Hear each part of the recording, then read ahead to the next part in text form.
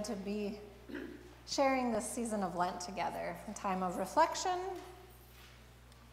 time of repentance, time of turning to God, the one who turns toward us. McCormick, do you have the witnesses video ready for us? Can you bring it up? Okay. Next Wednesday, we're ending our regular Wednesdays with a special event. Jonathan Swenson will be presenting the performance Witnesses, and it's eight different characters and their encounters with Jesus, and it's awesome.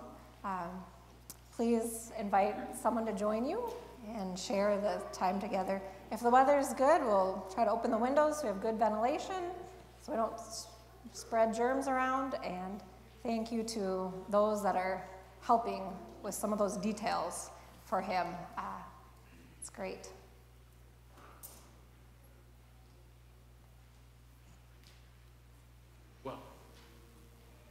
Here they all are to give you a fresh look at Jesus. You tell me that I'm supposed to know this kid's gonna be the Messiah, huh? He doesn't look like the Messiah. He looks like a baby. oh, I suppose I should tell you something about myself if my sentiments about Jesus are going to make any kind of sense to you. And then you got me, who, like, I used to not be able to talk, right? Well, as you can see, I can do it now. Woo! Jesus, you're going to be late for your own funeral, boy. I don't know about that, but he sure was late for mine. People scream things and nobody touches you. Afraid they might get what you got. What do you mean, scared of dying? You see this knife right here, pal? I lost count at about 30 Gentiles with this knife. I was good at it, see? I don't care if he said he's gonna have a steak dinner with this man. It's not happening. He's dead, Andrew. You got that? That's right. Dead. It doesn't matter now what he said. Wrong! I just saw Jesus, man. Enough talk. Let's let their story begin.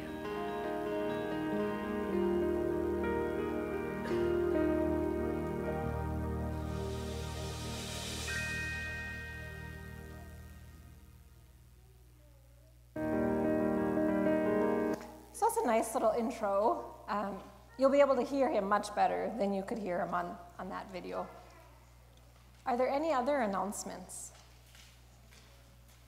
Thank you to our youth and families for serving. You've done such a great job with the meals. One more Wednesday to share that time together. Okay, kids, come on up and get an instrument, and we're going to do a little marching and singing as we get started with our worship service tonight.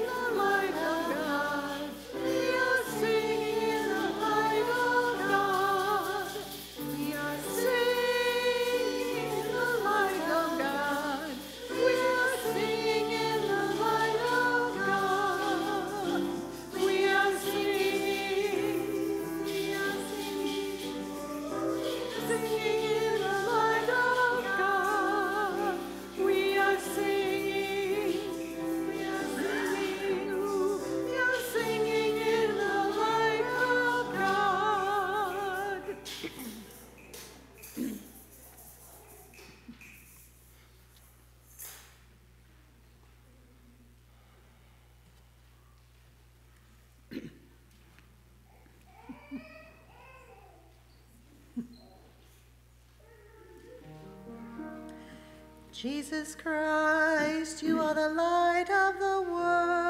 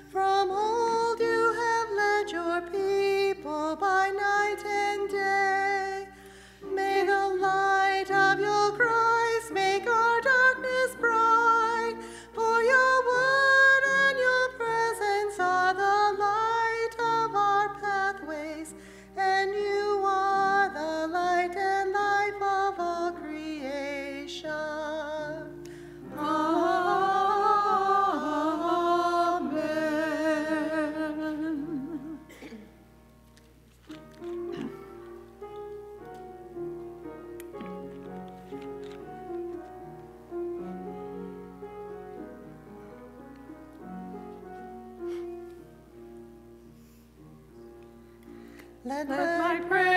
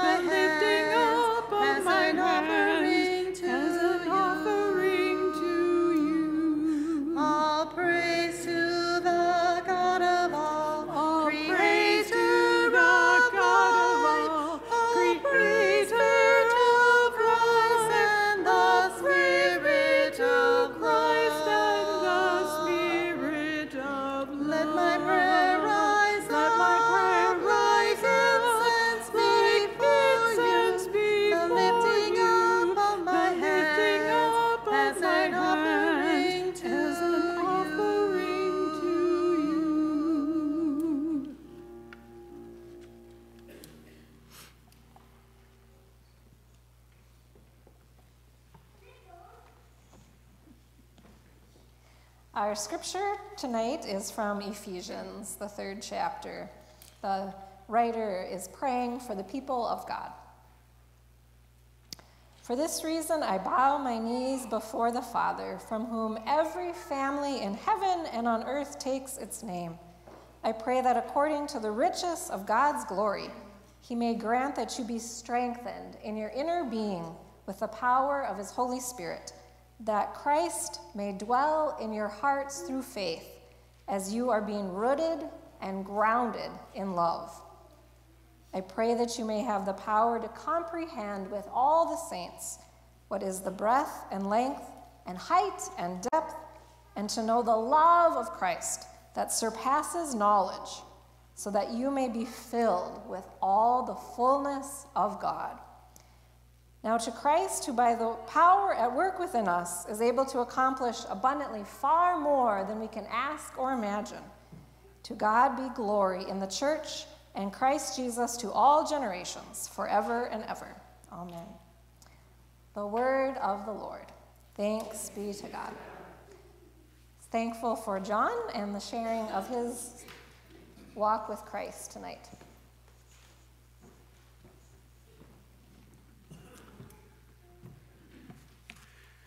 For those of you who have not met before, my name is John Dahl. I'm 73. I've been active, an active member of this church for almost 40 years.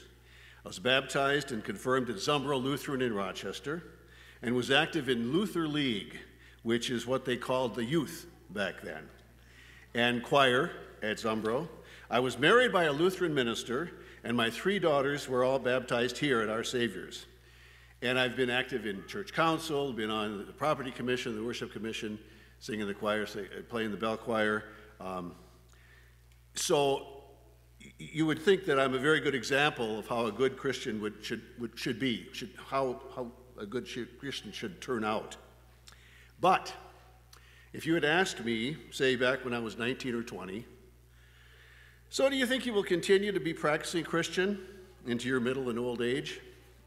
If you had asked me that when I was 19 or 20, I said, no way. What are you even talking about?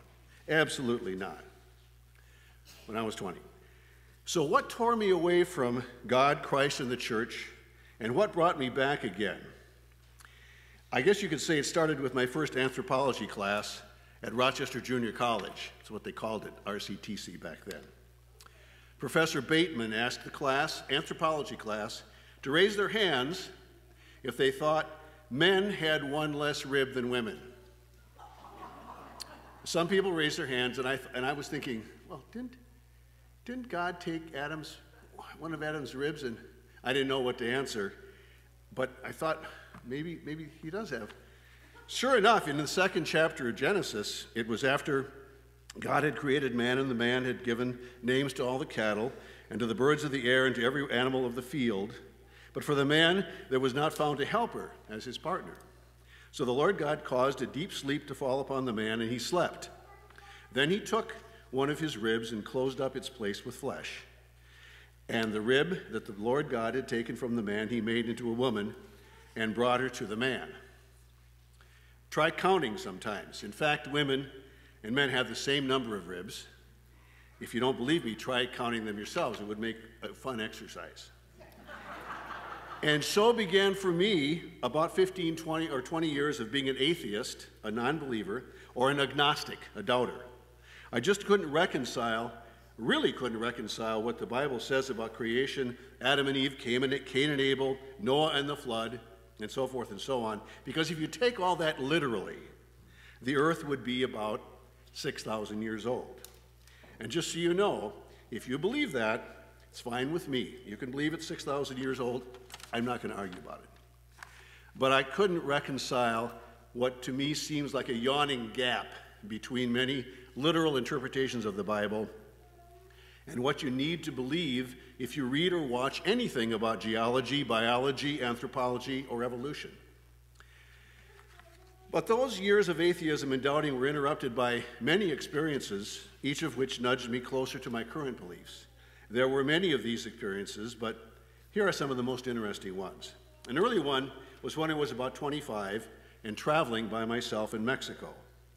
I traveled mostly by bus, and I couldn't help but notice that on many, if not most, Mexican passenger buses, someone, probably the driver, had installed a really ornate and large picture of Jesus looking down on the driver right above and to the left of the driver. So when you got on the bus, you saw the picture of Jesus looking over the driver. It was usually lit up so that even at night, when driving on Mexico highways is the most dangerous, I was in maybe halfway back in the bus. If you gazed up to the front of the bus, you could see this glow shining down on the driver.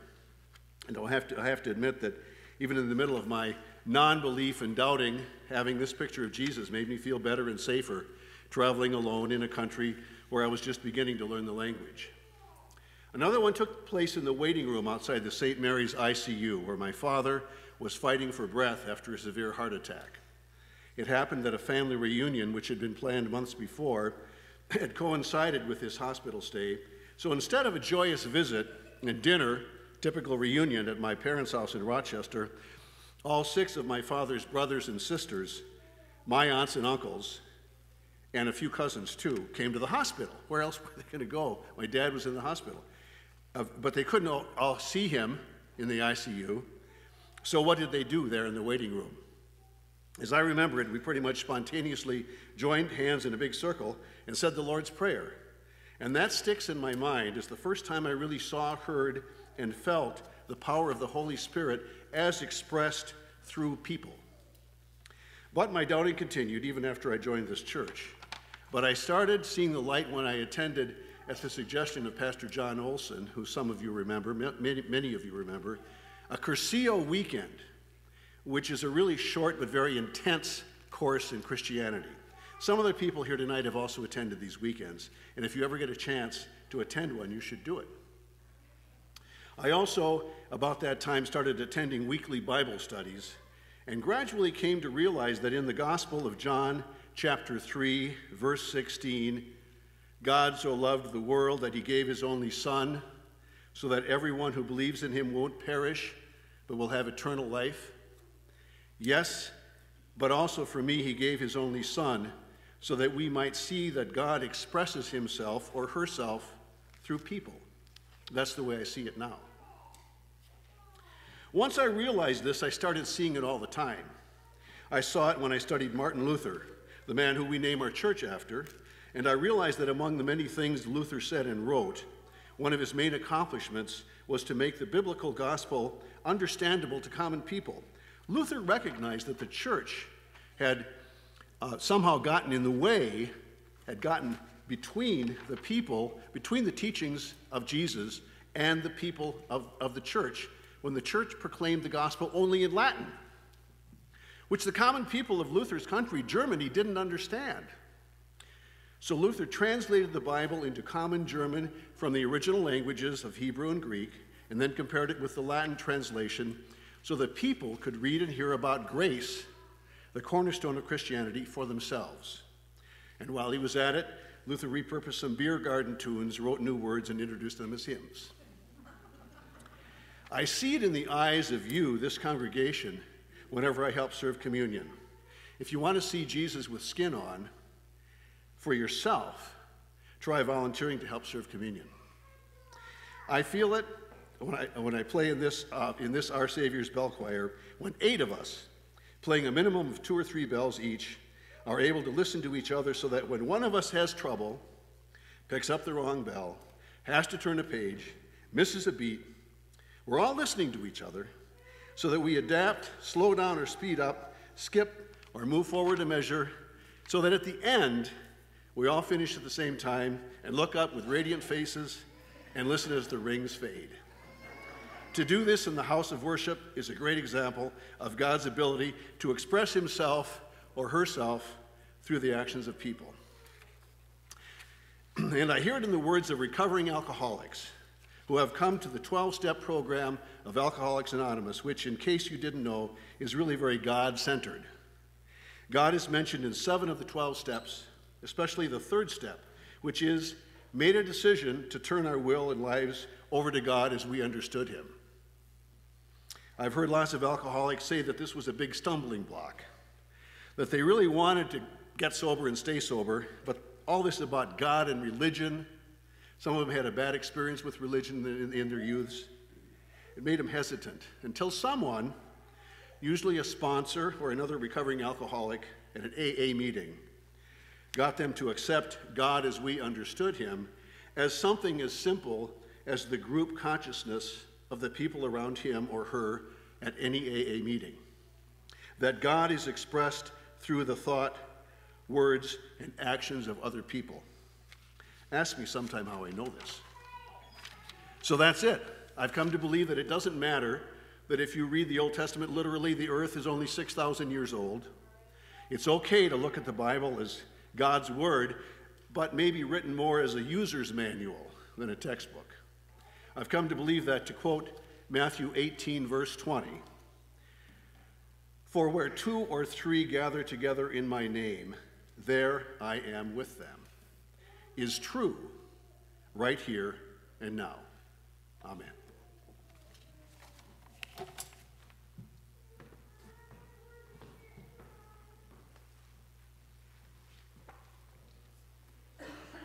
Thank you, John. What a blessing to hear from our members this Lenten season. We'll join together in hymn 328, to Restore in Us, O God.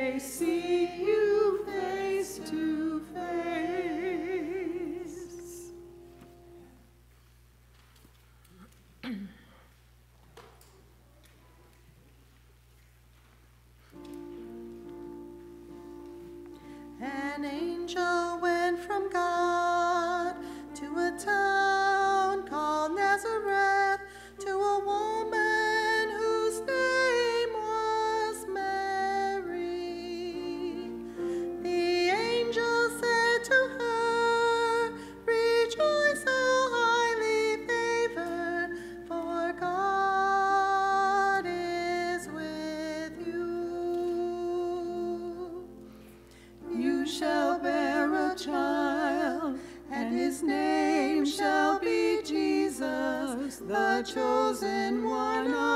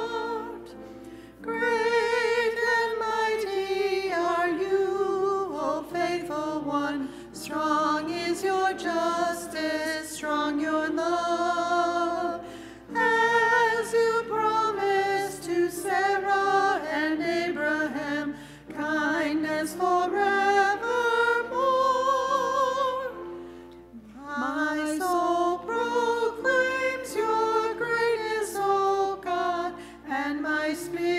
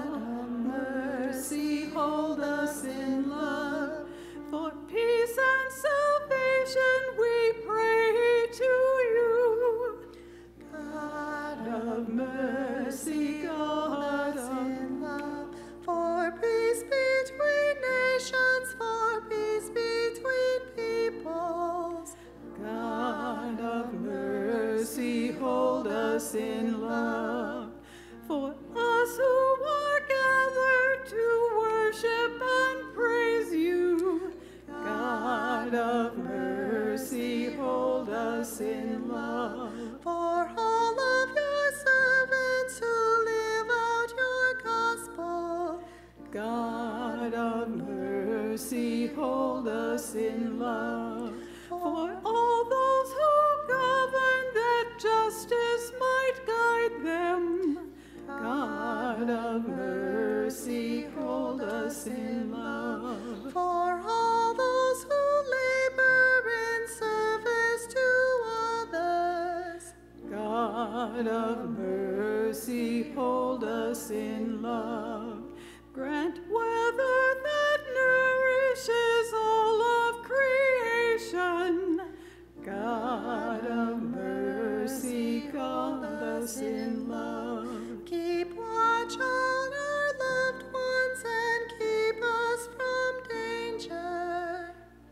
God of mercy, hold us in love.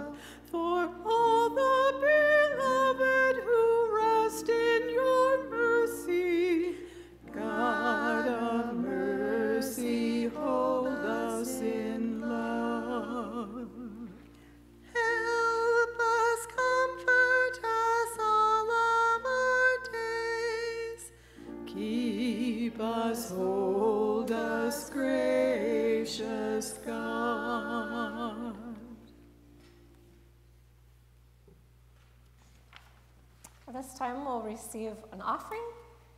Any loose offering is for the 40 Together initiative, our companion synod work, and also work with ethnic, in ethnic specific communities in our synod, in our region. After a moment of special music, we'll pray together the 40 Together prayer. And this is a nice opportunity if you would like to light a candle as a visual sign of your prayer. Or sometimes we don't have words for our prayers, but we have sighs and the visual of the candle. So this is a good time to do that as well. And we have a, a little candle with some flowers to remember those that we pray for in the Ukraine.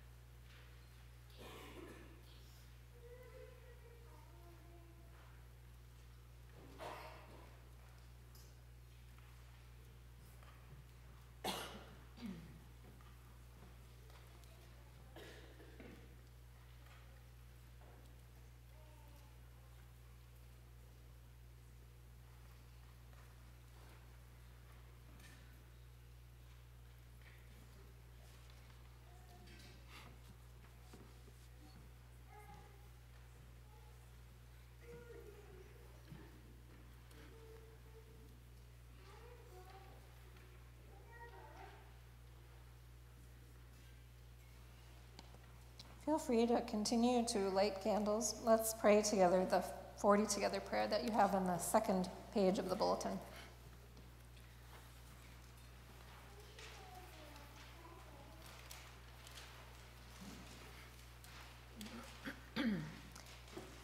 God of relationship, we give you thanks for the blessing of connectedness throughout the season of Lent. Deepen our relationships with one another, with our community, and with all our global partners. We pray specifically today for our siblings in Christ in Tanzania, Colombia, the U.S. Mexico borderlands, and our local South Sudanese communities. May they have a strong sense of your Holy Spirit's nearness and guidance, and may we be inspired to accompany them in meaningful ways. In the compassionate name of Jesus, we pray. Amen. Lord, we lift up to you the needs of our hearts, thankful that you hear even when we can't have words, that you hear our sighs and our thoughts and our longings. Lord, we lift up those in our community who are living with grief, and we pray for those who have had to flee their homes in the Ukraine. May they be received with hospitality and love, and we pray for peace. We pray that your Holy Spirit would do miraculous things in keeping people safe in the midst of terrible violence and bring your people to safety. We pray for those whose lives are upended and also for those who are serving um, in a war that they likely do not know the true purpose of.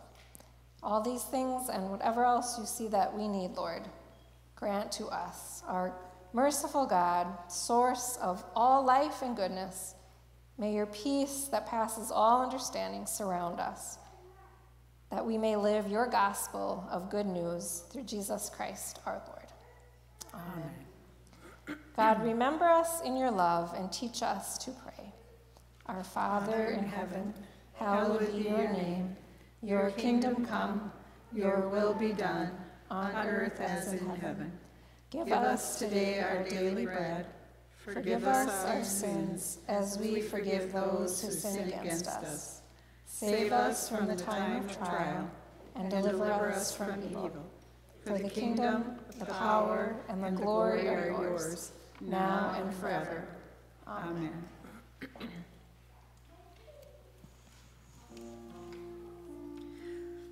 Let us bless our God.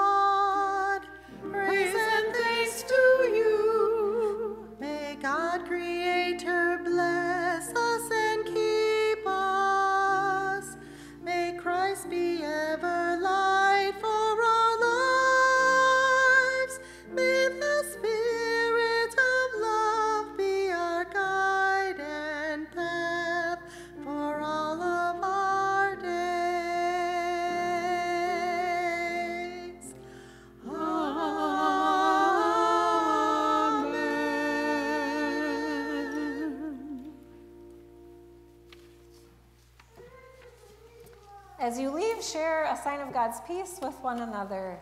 Go in peace to serve the Lord. Thanks be to God.